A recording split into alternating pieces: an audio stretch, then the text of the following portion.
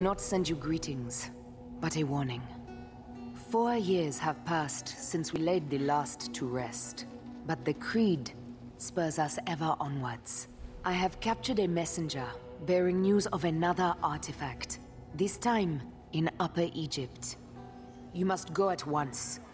Give this parcel to Merti. She lives and runs her business near Luxor. She owes me a favor, not friendship. The rest must fall to you.